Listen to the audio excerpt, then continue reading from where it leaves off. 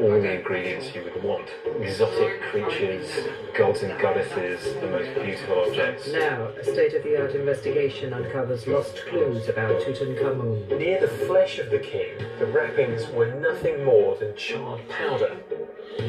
Why is the body of the boy king burnt? This is absolutely incredible. Could it be evidence of spontaneous combustion? Kind of brutal and very unusual. And what caused his death? Tutankhamun, Mystery of the Burnt Mummy. Secret History, Sunday at 8 on 4.